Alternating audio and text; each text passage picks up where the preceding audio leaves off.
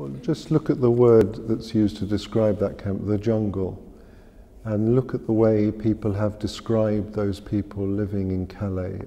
It's almost like, you know, they are vermin trying to get into our country who will infect our country. These are human beings with hopes, with aspirations, many of them with qualifications, many of them incredibly gifted.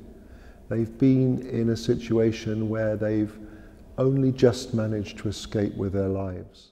They've made this most incredible journey um, from the places where they've come in the hope that somehow when they get to the United Kingdom, they're going to provide, they're going to be, find safety and peace.